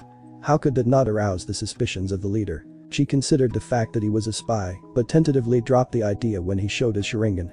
Konoha had no reason to be involved, right? So then she decided he did it out of morals, but he showed very little of those when he destroyed Chojuro in what was supposed to be a spar. Then, she ignored him and turned her mind to the fighting at hand. From one of the medic tents, she got a kunai stuck in her leg, Mei saw the man join the fray.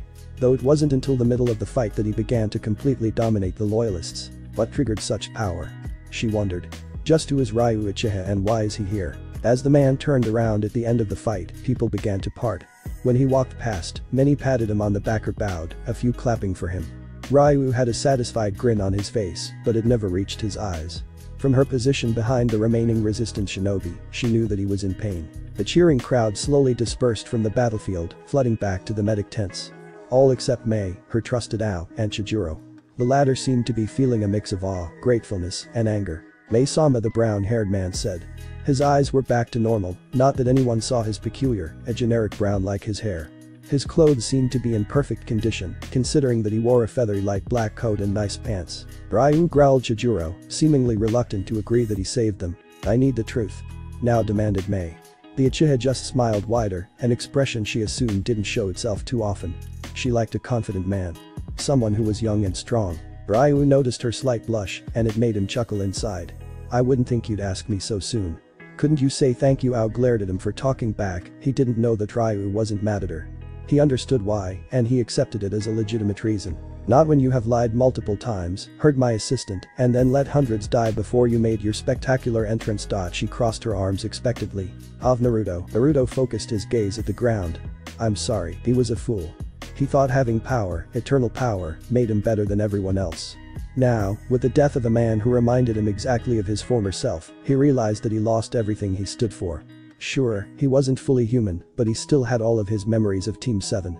He had memories about many times when he was sure those closest to him would die. Even then, he still had a good amount of his former human chakra, making him more than demon or human. Maybe, he could actually be the one Jiraiya talked about all those years ago. Sorry Ao exclaimed in a slightly hysterical voice. Sorry, it doesn't cut it. Mei almost backhanded him, instead settling for saying, he saved many lives, his apology is meaningless in the face of that. She addressed Namikaze, I was wrong about you. When Chojuro told me what happened, I thought of kicking you out, sending you back to Konoha. You affirmed some of my faith here, but I still need to know one thing. What is it? Just who are you? With this, Ao noticed your chakra was demonic. When you did your little stunt, he saw an amount of chakra to rival three Kages. I believe that you are from Konoha, it makes some sense with your eyes, and. Dot the words especially the fire that nearly destroyed them by itself went unsaid, yet they were known by both parties. Why are you lying about your identity? Naruto smirked again, threatening to let out a small chuckle. In habit, he scratched the back of his head. Who I am doesn't really matter. For all intents and purposes, I am Ryu Uchiha. You may think I'm not, but names hold no value as long as you do what's right. I figure that's what I came for, so you can let me get my revenge on Yagura, and I'll help you out. After all, I can't just let all this power go to waste when innocent people are dying. Unfortunately for him, though he had much of his morality and ideals back, he still had a few arrogant thoughts drifting around his mind. Not everyone can change so completely so fast. Knowing she couldn't press the stubborn kid any further, she settled with that answer. Since he had good intentions, possibly, he would be an asset either way. Wait a second a voice exclaimed. Chojuro wasn't too happy, and he was confused too. You said you have morals. It looked to me like you swatted me against a wall without even honoring our spar. He couldn't resort to the I've changed argument, it was too soon, less than 5 hours to be exact. It was just a spar, and I was tired. I get grumpy when I'm tired he admitted sheepishly. Well, it was mostly true. He never was a morning person. Ao muttered something under his breath. It sounded like I still don't trust you, but no one could be sure. Ryume began. Naruto looked at her questioningly. Had he left some vital thing out that they'd now put him on the spot for? What do you hold well shit he couldn't answer that without causing some problems in one of the villages. He couldn't claim to be for any but the Kyuubi and maybe the Nanabi. Since he allied himself with Konoha, the rest were commonly known to be affiliated with one of the other villages. Kyuubi he decided. It wouldn't be good in the long run, but he couldn't plan that far ahead anyways. He'd just take what happens as it happens. Mei raised a skeptical eyebrow, eventually figuring to accept the answer. Let's go back. This morning was already eventful enough. Ao and Chojuro turned to leave, but the other two made no move to follow them. Wait, Chojuro Naruto called, making him get a curious look from the sharp-toothed teen. Can you give me some lessons? I think I suck a little he nodded and followed out of the medic tents and their base. This left Naruto and Mei standing by the crater-covered field alone. Ryu-kun, you seem like a good man she praised, giving him a creepy smile. At least it would have been creepy if Naruto's face didn't widen in the same knowing grin. Mei-chan, you're not too bad either. Now, Naruto was a dense man, yes he knew that. But he wasn't a complete idiot anymore. Plus with Mei, her lusty feelings weren't too hard to decode. He always thought she was hot anyways. You should go on a date with me. Tonight. I know a great place to eat in a nearby village she proposed, wrapping her hands around his back. How she just loved a strong young man, especially when they were mysterious. Sounds gree he didn't get to finish that sentence. Her lips were already on his cheek. Naruto melted into her arms, considering that this was practically his first passionate kiss ever. That doesn't count Sasuke in that epic failure of a graduation day. Eventually, the two pulled away. I'll see you tonight, Mei-chan exclaimed a blushing and extremely cheerful Naruto. Meet at my office. I'll be sure to wear something less constrictive she said, hinting at possibly scandalous clothing, not that the Juubi noticed. She winked and waved at him as she too walked back to their base. Naruto was all by himself, head resting in his hand while he looked dreamily after the woman. He just wished that he had millennia of experience, not in just sitting there, but in dating. Konoha, it was a few days later, in Konoha, when word would spread about the turn of events in Kiri. As the standing Hokage, it was Minato Namikaze's job to do more than take care of his kids and the affairs within Konoha's borders. He had to have a perfect awareness of every major ordeal in the five great villages, just in case one of those ordeals the entire order out of balance. If Iwa and Kumo had gotten into a skirmish, the safety of his citizens could end up in danger if it were to escalate. No one was better for bringing him news of other villages than one Jiraiya of the Sannin. While the blonde Hokage was busy frowning at papers relating to the Uchiha, he felt a familiar chakra signature land just outside the office. Sure enough, a window opened, and a middle-aged man with spiky white hair and red marks on his face was squatting on the windowsill. Jiraiya-sensei, he exclaimed happily. Please tell me you came to save me from the paperwork. Jiraiya frowned at the large stack of papers on the desk, but then smirked evilly at the pained Kage. Sadly not. But it is extremely important information I've heard from my spies in Kiri. Kiri? They just began a civil war, right? That's the thing, Minato Gaki. The war may already have a set outcome. Minato was confused with what Jiraiya said. The rebels were supposed to be strong, not too easy for Yagura to wipe out.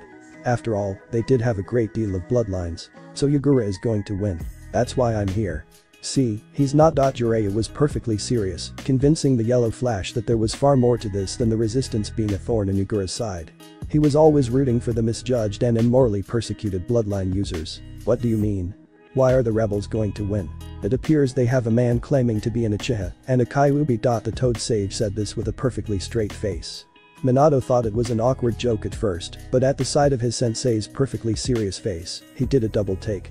The man wasn't joking. You're serious. Has he done something yet, or do you honestly believe that? That's the thing. The man annihilated 2,000 of Yagura's men with the power of the Sharingan, and the aid of a dot I heard this from multiple trustworthy sources, one of which was an eyewitness. Trust me, this is no joke. What is his name? And why does he claim to be the Kyuubi when only Natsumi-chan holds the fox Minato was beyond lost, but that didn't seem to dissuade the man from thinking more on the issue. It made no sense. Why would someone claim to be an Uchiha or when not a single member of the clan went missing? He did have the Sharingan though, that was frightening to the Kage. He couldn't let the volatile clan get a hold of this information. He also wondered how a man could be practically unknown, persona built on lies, but yet be so powerful. I don't know why he claims what he does. It could possibly be an easy way to answer for his strength during a large fight of Yagura's men and the resistance. It was 1000 versus 3000, and this man was able to defeat all 3000 single-handedly. His name Minato recalled. Oh yes, his name is Ryu Uchiha, a dumb choice if you ask me. Dragon. Really? It sounds like one of the names I put in my first book The Tales of an Utterly Gutsy Shinobi for those who don't know. And it'll have to go in another book. I want him in our bingo book as an S-rank shinobi with a capture alive order. Draw out all your information on him and give it to Shikaku Nara, he'll puzzle it out and put it on paper. Sure thing, kid. Just one thing. Minato motion for the Sannin to continue. My new book will be coming out soon, so here's the first copy. Jiraiya grabbed an orange-covered book from his ninja pouch and tossed it to Minato's hands. What? No. I don't read this garbage he spluttered. I've seen that secret drawer in your room, Minato. The blonde was horrified. Edit it for me, and I won't tell Kushina. That's blackmail he realized that he shouted loud enough for someone to come in and quickly put a hand over his mouth. I mean, that's blackmail. Can't you do the Hokage a favor? I am. You get this book a week early, and I'm not telling Kushina Dottie was crushed, the man was right. All great Konoha shinobi had one deadly secret. From the Sandaime to Anko Mitarashi, every one of them loved Jiraiya's stories. It's for the plot. The plot. Minato cried in denial. Jiraiya jumped out onto the roof, leaving the Yondaime in tears. It's time to put this guy in the bingo book he reminded himself, pulling out his notes as he jumped across a few rooftops. I feel like I should know this guy she sighed. Somewhere, Naruto and his chakra clone both sneezed. Ryu. Ryu. Ryu. Ryu the thunderous chant repeated itself over and over as the remaining members of the resistance were gathered in a large atrium-like room for a speech from Mei. It wouldn't stop, the shinobi rejoicing over there, or more realistically Naruto's, victory. The atrium was indoors, underground, in the stronghold that they just successfully defended. On a stage in front of over 700 people stood four figures. Ryu, Mei, Chojuro, and Ao each gave a small wave as they stepped towards the resistance. Chojuro had a pleased shark-like grin, no doubt the impression given off by his sharp teeth. Ao was Ao, not really bothering to show any emotion past slight annoyance, though he may have been joyful on the would shoot a few sultry smirks at Naruto, who still couldn't stop himself from blushing like a complete fool. When it came to Naruto's achievements, however, it was no laughing matter. He felt guilty, far more than he should. After all, he had immense power, that of which was only tamed and controlled by one person, the Rikudou Sennin. If that was true, then how did he let himself get a stick so far up his face that he let his friend die? It seemed that the Naruto part of him finally had influence, instead of him acting like the impartial, uncaring Juubi. That didn't mean that the guilt faded. No, he would have to work harder, slay more bad guys, to make sure no one else died a meaningless death. For the first time since the fight was over, the fake Uchiha afforded himself a smile. Yagura was going to get it. Mei made a hand motion for the gathered crowd to quiet down. Quiet down everyone Ao grumbled forcefully. The resistance leader gave him a look that read, in Naruto's mind, show some emotion or I'll kill you. Ao silently apologized five times in his head, backing away to stand beside Chojuro. Mei spoke, my friends and comrades, today we have achieved an amazing victory. But we have also suffered a terrible loss. Though I believe that if we all continue to put all of our heart into this cause, we can topple the corrupt leadership of Kiri cheers rose out, mostly wordless, shouts. They were screams of joy at what was to come. We couldn't have had such a decisive victory alone she added, which was met by a few nods, though there were a couple too full of themselves to realize they would have had to retreat. And a retreat would have forced them to take many years to regroup and gather forces. For this victory, we have one man to thank, who protected his comrades and struck fear in the hearts of Yagura's men. At the first part of the statement, Naruto hung his head down. He couldn't protect Kaiko. Mei continued, unfazed by Naruto's thoughts. This man is Uchiha Ryu, as you probably all know. Cheers broke out again, the chant of his name resuming even louder than before. But the leader didn't stop. As she motioned for them to calm down, she said, and to those of you women who want a strong capable man, he is not available. She said this with such deadly finality that it scared some of the women who were thinking just that. Groans punctuated the silence following her statement. So no one could hear, she turned to Naruto and whispered. I'll see you tonight. Naruto almost fainted. He vaguely remembered Mei continuing the speech, but the comment left him dazed. After a 16-year life and an entirety as a tree, and that was not worth bragging about, he finally had the one thing he'd always wanted but never had. A date. When the speech was done and crowds of women began to tail him, Naruto had gone back to room and, no surprises here, fell back asleep. After all, he could hardly make it back to his room without being swamped by people. Half of him, okay most of him, was about to smash them all into walls, that seemed to do the trick. He reined his intentions in, instead shoving his way through the admiring crowd. Why couldn't it have been like this when I saved Konoha? He sighed. Then he amended, do I even want this many women attacking me? Fangirls, it made him shudder. When he awoke from his nap, he looked at the clock in his room. 4.30 p.m. Wait, did Mei even give him time? He sighed, contenting himself with getting ready anyways. He threw on a fancy black kimono, he didn't even know how it got into his room. Probably Mei-chan he sighed, and annoyed that it looked better than all of his own clothes. At least it fit with his pants that he already wore. He sighed, realizing he should shower first. So he took off a stupid kimono, showered, and put all of his clothes back on again. As he opened the door, he was gladdened to see no one was waiting outside to ambush him. As he headed down the hallway to the redhead's quarters, he repeated a mantra in his head. I can survive a battle, I can survive a date. Mei was leaning back in her chair, ignoring all the paperwork on her desk. She had far more important things to think about tonight. After all, she had finally found a young man who could stand up for himself, and he wasn't hard on the eyes either. Granted, the man was pretty generic, but maybe lean with defined muscles was the way to go. She heard knocking on the door, and a smirk spread across her face. Tonight is going to be so much fun she thought, clearly insinuating something. Come in. And come in. Ryu was looking very sharp in his black kimono, which she gave him. Whoa was all he said. Why? Well, Mei was hardly wearing any clothes at all, though they covered the important parts. Though it may be slightly cold at night, shinobi were used to it, allowing them to wear pretty much whatever they wanted.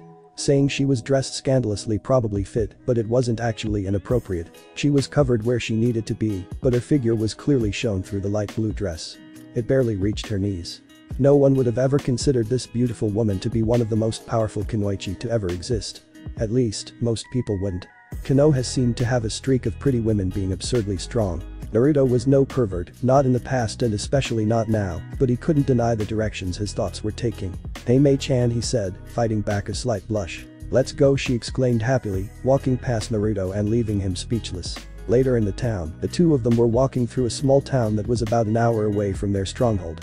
Their base was so close because obtaining food and materials was vital, so close proximity was fairly important. At some points throughout their walk, Naruto and Mei would hold hands. Clueless as to what to do, Naruto just let Mei do whatever she wanted. That usually meant giving him odd looks and grabbing his hand or his shoulder or touching her hand to his face. At least he was about her height, it would have been really weird for him if he was shorter. As the state of Kiri was not too good, to put it nicely, the small town mirrored it. Families were torn apart from the rebellion and Yagura's laws, those with bloodlines slaughtered and the rest of their family living in fear. In this town, much of the murder glossed over it, but it did not stop the paranoia from reaching them. After all, many of them were afraid of what their Mizukage would do next if he already killed many hundreds of innocent shinobi. Like many of Kiri's other island towns, this one had beggars in the street and a bunch of old, some abandoned, shops along the road. So this is what the war has done Naruto broke the silence. I prefer to think of it as a revolution, not a war Mei replied, twirling a lock of her auburn hair. At the Uchiha's puzzled face, she continued, I don't want a long, drawn-out conflict. It would only make things worse. Naruto mumbled under his breath, cause that's what happened last time. What did you say Mei returned? Nothing. She stopped at a store on the right. It actually, on a closer look, appeared to be a restaurant. This is where we're eating. Here exclaimed her date. This looks like some run-down, old place that doesn't even serve food. Don't judge a book by its cover, Ryu-kun. You taught me that. dot She smiled at him I have to get married soon, before I grow older. That he said it a creepy look. Oh, nothing. dot She grabbed his arm and led him to the restaurant. Say, how do you like sushi? Dinner wasn't anything special. Naruto, though a bit nervous, had opened up by the end of their date. Well, he opened up as much as it made sense to, hiding his identity and all. Thankfully, Mei didn't pressure him whatsoever about him being Kyuubi, as he said he was. In fact, she hardly pressured him at all. By the end of the dinner, she was resting her head on Naruto's shoulder. I had a fun night Mei-chan. She gave him a sultry smile. Who said it has to end now? There's a hotel a block away. Naruto's cheeks turned so red that his mother, all the way back in Konoha, stifled a sneeze. I think that's a great idea. Tech please the very attractive Kunoichi called. It suffices to say that they had a very fun night. Konoha four days later, Naruto was beyond bored. Unlike his counterpart back in Kiri, this Naruto still didn't care much for anything. After the academy was over for the day, he would take long walks around the village and sit atop of his father's head on the Hokage monument. As a clone, he didn't know anything about the events occurring in Kiri, but he did know what was coming up. He heard his father's mumbles, often late at night, where he'd come home and complain about the Uchiha. It may be happening later than before, though it was happening all the same. The sad thing is, he didn't think he could be troubled by the tragedy occurring. He would have opted to save them all had it impacted him in some way, or if it spurned those who made his past life hell. See, this Naruto didn't particularly like the Akatsuki at all, and he really wanted each and every one, except possibly Nagato, to burn at the stake. Well, that was if he could put in the effort to do something. At this particular time, he was enjoying a quiet walk on the way home. It was around 8, the time his parents had expected him home. He did actually love his family, the need for a family was one of the things that persisted from his other life. Thus, he followed their rules, talked at the dinner table, played with his sister, and they let him be the same brooding, bored, arrogant kid that he'd become. Little did he know that he already changed. He even went on a date and this clone wouldn't in a million years. He opened the door to the Hokage mansion. Hey, I'm home. Naru-kun. Naruto Nai. Two voices called simultaneously from the kitchen. The first belonged to Kushina Uzumaki, a pretty woman with scarlet red hair and a beautifully flawless face. The second was from his sister. In his opinion, she was dressed like a Kunoichi to be, not that he'd admit that she looked it. Natsumi looked exactly like a younger version of Kushina, and the elder Uzumaki hadn't really changed much since her genin days, other than height, features, and overall maturity. Sup guys? I had a long day. Got any food? Ayubi rolled her eyes. You didn't do anything. You don't even train. All you do is just walk around all day and act exhausted, then sleep like Shikamaru. See, the Naras know what's going on Naruto replied pointedly. Kushina decided to intervene before this got out of hand, as usual. Killing intent pierced the air as she took an authoritative and slightly demonic tone Natsumi, stop bugging your brother. Naruto. Stop trying to fail the tests at the academy. Go ask your father to train you in something. Sorry, Kaa-san they both mumbled. Sit down and enjoy my delicious ramen dinner she smiled at Naruto. Or you're grounded were the words that went unsaid. Silently, Naruto sat down and watched the two women scoop ramen into their mouths like they had nearly died of starvation. He suddenly found his formerly favorite food far less appealing. As pure chakra, he technically didn't have to eat, but he had yet to go more than a day or two without eating at all. The front door opened just as the three were about to finish up. Tou-san Natsumi shouted, immediately jumping up and running to give him a hug. Naruto could see that his father was clearly tired. His hair was messed up, more so than usual, and his eyes seemed unfocused, staring off into space. The Redeed child released him from her grasp, letting him hang up his robe and hat on hooks. Minato and Natsumi walked back to the table, sitting down. Kushina slid him a bowl of ramen, leaving him to murmur, ramen really? You think it gets old? What was that Kushina whispered dangerously in his ear. Nothing Kushi-chan. Cough, whipped, cough Naruto coughed under his breath. The former glared at her son, who was busy staring off into space. In a finality that only she could command, she said, nobody will make any more of these comments at the table. Understood she was met with nods. Now, Mina-kun, why don't you tell us about your day? Minato tentatively ate a forkful of ramen, thinking it as snakes in his head. When he registered what his wife was saying, he put his fork down and yawned. It was boring Hokage stuff, nothing you guys would want to hear. Natsumi groaned. But there has to be something interesting, Tou-san. Yanarito added.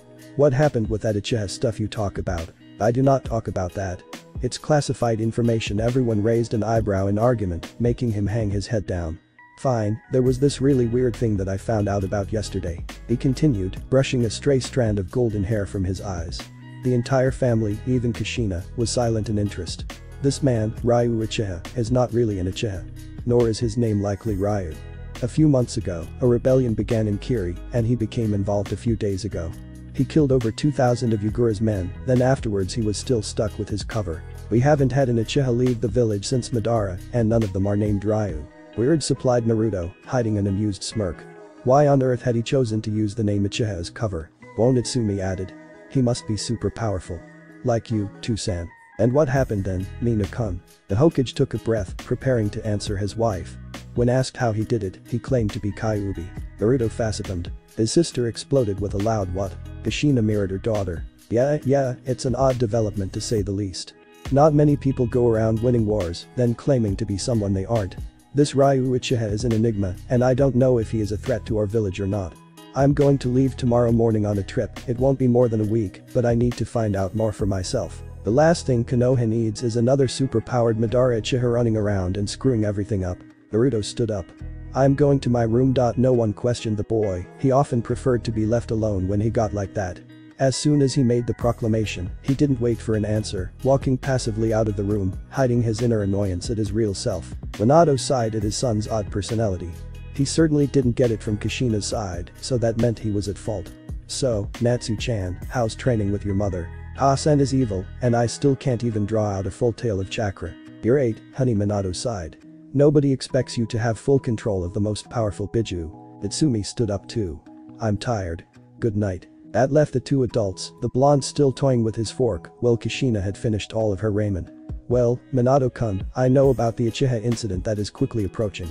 He was openly surprised, but upon thinking about it, it wasn't too surreal. Even his son knew something was up, but then again Naruto was extremely observant, more so than a number of the genin that graduated recently. She leaned closer. I can't believe that you're letting Itachi-kun kill his entire clan for the sake of Danzo's beliefs. An uprising. Mikoto-chan in an uprising. The feeling of the room suddenly grew far darker. I have to do what's right for the village. Even if that means leaving while Itachi slaughters his clan to chase some wild rumor about some Even if I have to chase after an impostor while you fill in for me. Three days later, an army of 750, they had picked up some recently, was walking outside down a small path. They traveled in rows, four wide, headed by a woman with auburn hair down to her knees, a spiky-haired man with an eye patch, a boring brown-haired civilian, and a boyish swordsman with spiky teeth. They were the official and unofficial leaders of the resistance, respectively Mei Terumi, Ao, Ryu Uchiha, and Chojuro. Mei had given them a speech before leaving, assuming that they would encounter the enemy soon. Sure enough, as they reached the desolated site where the previous fight took place, they saw the enemy. Like a bunch of black figures over the horizon, Yagura's men were far more numerous, over 8,000, bumps under the treeline. The sight of the first battle reminded Naruto all too much of his failure. The two armies approached each other cautiously so they could get within shouting distance, both tensely awaiting orders from the commanders. The resistance fanned out, now only two deep, covering their entire side. Yagura Naruto shouted. Ryu the man replied, his voice quieter, but it carried better. The two continued walking towards each other, standing no more than 50 meters apart. You have something of mine, and I'd very much like it back. Is that so the boy like Kage chuckled. And you have hurt these people for far too long he added, just to back up his morals. Even Mei could not stop this war now, with all her sweet talking. He smirked, pulling a long hook staff with a flower on one end from a strap on his back. Well, what are we waiting for?